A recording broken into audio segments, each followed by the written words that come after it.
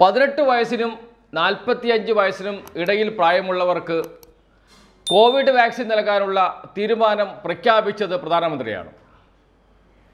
കാരണം പ്രധാനമന്ത്രി പ്രഖ്യാപിക്കുകയും പ്രധാനമന്ത്രിയുടെ നേതൃത്വത്തിലുള്ള കേന്ദ്ര സർക്കാർ തീരുമാനമെടുക്കുകയും ചെയ്താൽ മാത്രമേ സംസ്ഥാനങ്ങൾക്ക് അതുമായി മുന്നോട്ട് പോകാൻ കഴിയുകയുള്ളൂ. നിയമപ്രകാരം തീരുമാനമെടുക്കേണ്ടത് കേന്ദ്ര സർക്കാർ തന്നെയാണ്. അങ്ങനെ കേന്ദ്ര സർക്കാർ പതിനെട്ട് വയസ്സിനും നാൽപ്പത്തിയഞ്ച് വയസ്സിനും ഇടയിൽ പ്രായമുള്ളവർക്ക് കോവിഡ് വാക്സിൻ നൽകാൻ തീരുമാനമെടുക്കുകയും അതിന്റെ ചുമതല അതിന്റെ ഉത്തരവാദിത്തം സംസ്ഥാനങ്ങളുടെ തലയിൽ കെട്ടിവെക്കുകയും ചെയ്തു. കേന്ദ്ര സർക്കാരിന് അതിൽ യാതൊരു ഉത്തരവാദിത്വമില്ല എന്ന് പറഞ്ഞ് കൈകഴുകുകയും ചെയ്തു. വേണമെങ്കിൽ സ്വകാര്യ ആശുപത്രികൾക്കും വാക്സിൻ നൽകാം. പതിനെട്ടിനും നാൽപ്പത്തിയഞ്ച് വയസ്സിനും ഇടയിലുള്ളവർ സ്വകാര്യ ആശുപത്രിയിൽ പോയി വാക്സിൻ എടുക്കട്ടെ എന്ന നിലപാട് കേന്ദ്ര സർക്കാർ സ്വീകരിക്കുകയും ചെയ്തു.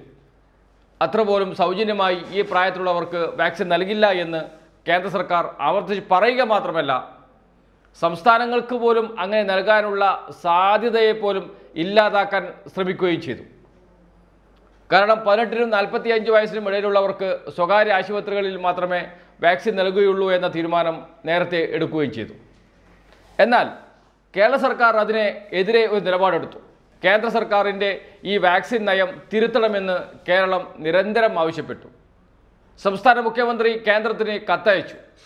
പക്ഷേ യാതൊരു ഫലവും അതുകൊണ്ട് ഉണ്ടായില്ല എന്നതാണ് വാസ്തവം. എങ്കിലും അനങ്ങാതിരുന്നില്ല സർക്കാർ. സംസ്ഥാനത്ത് പതിനെട്ടിനും നാൽപ്പത്തി അഞ്ച് വയസ്സിനും ഇടയിൽ പ്രായമുള്ളവർക്ക് വാക്സിൻ നൽകണമെന്നും അത് സൗജന്യമായി നൽകുമെന്നും സംസ്ഥാന സർക്കാർ പ്രഖ്യാപിച്ചു.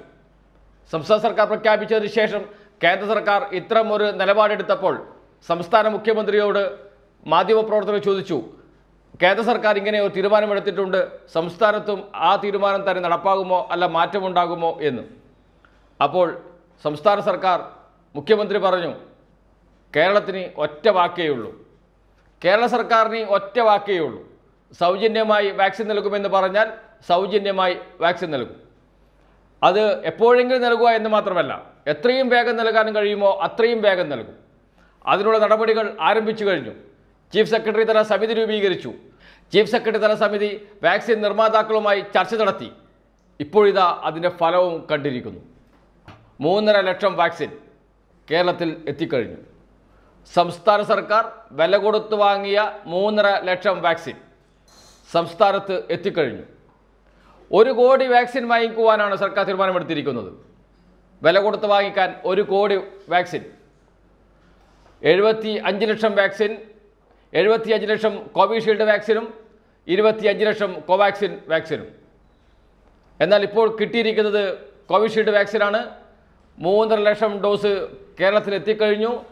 കേരളത്തിൽ കൊച്ചിയിൽ അത് സംഭരിച്ചിരിക്കുകയാണ്. അവിടെ നിന്നും എല്ലാ ജില്ലകളിലേക്കും വാക്സിൻ എത്തിക്കും. അങ്ങനെ പതിനെട്ടിനും നാൽപ്പത്തി അഞ്ച് വയസ്സിനും ഇടയിലുള്ളവർക്ക് ആദ്യമായി വാക്സിൻ നൽകാൻ കേരളം തയ്യാറെടുപ്പുകൾ പൂർത്തിയാക്കി കഴിഞ്ഞു. അത് എത്രയും പെട്ടെന്ന് ആരംഭിക്കുകയും ചെയ്യും. അതേസമയം കോവിഷീൽഡ് വാക്സിനാണ് കേരളത്തിൽ ഇപ്പോൾ ലഭിച്ചിരിക്കുന്നത്. ഇരുപത്തി അഞ്ച് ലക്ഷം ഡോസ് കോവാക്സിൻ വാങ്ങിക്കുന്നതിനാണ് സർക്കാർ തീരുമാനമെടുത്തത്. എന്നാൽ കോവാക്സിൻ സംസ്ഥാനത്തിന് ലഭിക്കില്ല എന്നാണ് ഇപ്പോൾ കേരളത്തിന് ലഭിച്ചിരിക്കുന്ന വിവരം. കോവാക്സിൻ ആദ്യം നൽകാനുള്ള പതിനാല് സംസ്ഥാനങ്ങളുടെ പട്ടിക കോവാക്സിൻ പ്രസിദ്ധീകരിച്ചിട്ടുണ്ട്. ആ പട്ടികയിൽ ഈ കേരളത്തിന്റെ പേരില്ല. കേരളത്തെ ഒഴിവാക്കിയാണ് അത്തരമൊരു നീക്കം കമ്പനി നടത്തിയിരിക്കുന്നത്.